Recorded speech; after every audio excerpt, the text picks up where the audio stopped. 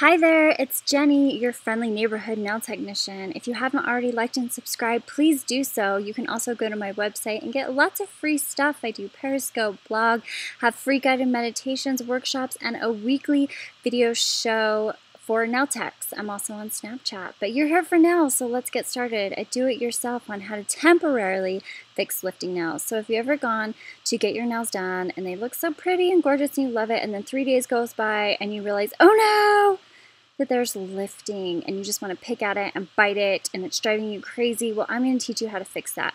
I'm also going to fix this weird bump. It's a little bit too heavy on the back of the nail here. That's not where the apex should be. It needs to be more forward. So we're going to file that down too. I'm going to start by using CND's uh, cuticle eliminator. It's like shampoo for your nails. It like scrubs the cuticles and breaks up all the icky tissue. But we're going to go ahead and use this metal implement to push the cuticle back. Make sure you stay parallel to the nail plate. You can also use an orange wood stick if you have one.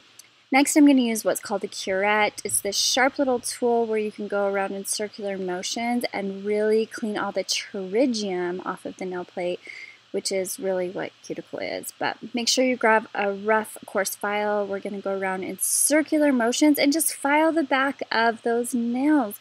You want to file it down thin so that you can remove the lifting, but you also don't want to neglect um, the rest of the nail. So make sure you file around the back, around the cuticle area, and then start to pull forward that makes sense. You'll see what I'm going to do here in a minute. So we're filing around and around and around, and then see how we've got that all scratched up there, and then I'm going to start pulling forward. Then, once you get that done, you can also, you know, shape, make sure that the sidewalls are straight, and the free edge is a pretty, you know, forward, that the shape's pretty and forward, everything's coming together exactly how you want it once you get that shape in. Then I'm going to remove the dust and I'm going to go in and I'm going to go fix that weird bumpy one. Do the same thing, clean it.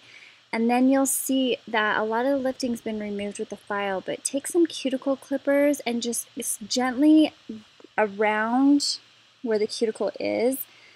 Um, or where the nail is lifting, just drag the cuticle nippers forward and if it catches, nip it. If it doesn't catch, leave it alone.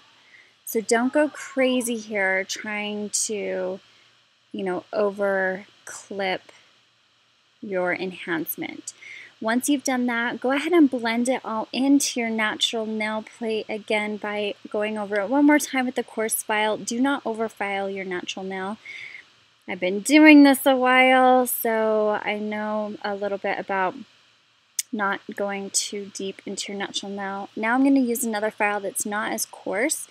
Go around and pull forward, do the exact same process. After you've done that, you're going to want to use a buffer, but a coarse buffer to remove some of the scratches on the nails.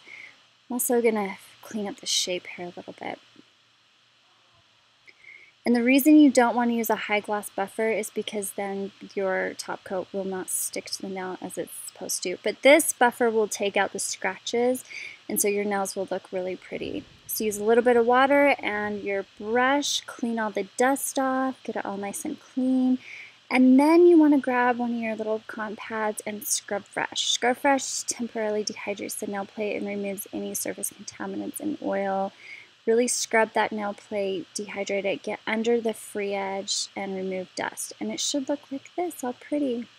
Now snag your favorite top coat. I love CND's um, Super Shiny. That's my favorite.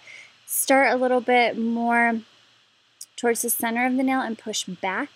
It's a little nail check secret when it comes to polishing. And I will do a video in the future on how to polish your nails perfectly.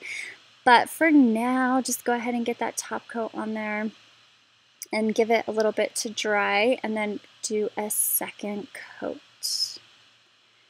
And honestly, this top coat is not a quick dry top coat, but I think I only waited like 30 seconds to a minute before I applied my second coat. I did flood the cuticle a little bit there, so I'm just going to clean that up with an orange wood stick. We don't want any product on the skin at all because that's what causes lifting in the first place. If you need to, use a cleanup brush and some acetone and go around the nail. Completely up to you. Once we've done that, they should look beautiful and they are ready to be polished to your desire, painted or left clear, however you want them until you have time to get in to see your nail technician and get your fill. So this will hold you off for a little bit before you can get in to get a fill where you're not going to be tempted to pick or lift up those nails. Now after it dries for a little bit, you want to grab your cuticle oil. Again, my favorite is CND's Solar Oil. Mm, I love this stuff. It smells like amaretto, delicious. Go around the cuticle and under the free edge. This will prevent your natural nail from curling away from the enhancement. So I hope you enjoyed that do it yourself with fixing the lifting. Again my name is jenny at jenny a. Hansen and please like and subscribe to my channel if you want to see more videos like this. Lots of love. Have a beautiful day. Bye